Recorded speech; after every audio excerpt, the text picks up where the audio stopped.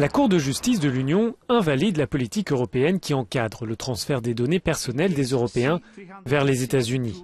Les juges donnent ainsi raison au juriste autrichien Max Schrems à l'origine de cette procédure. Pendant des années, la Commission n'a fait qu'observer. Il y a eu deux ou trois ans où ce régime juridique aurait pu être changé, mais la réponse était toujours rendez-vous le mois prochain, pas aujourd'hui. Maintenant, la décision de la Cour signale de nombreux points qui doivent changer. Cette décision de la Cour remet aussi en question la politique menée par la Commission européenne depuis 15 ans en matière de transfert des données. Son premier vice-président assure que l'institution va répondre rapidement à cette nouvelle donne.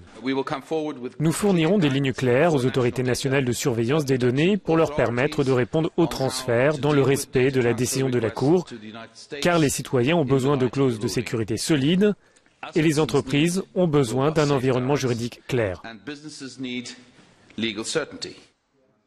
Ce cadre juridique de transfert de données, appelé sphère de sécurité, est plus connu sous le nom de Safe Harbor.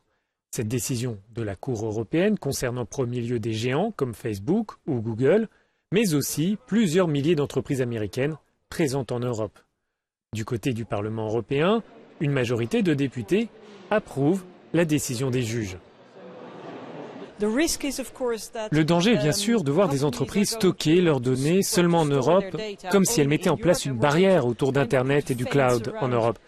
Nous ne voulons pas cela, nous voulons de l'innovation, nous voulons l'accès au World Wide Web, mais cela ne peut se faire que si nous savons que nos données sont protégées. Cette décision de la Cour pourrait aussi avoir un impact sur les négociations commerciales actuellement en cours entre l'Union et les États-Unis.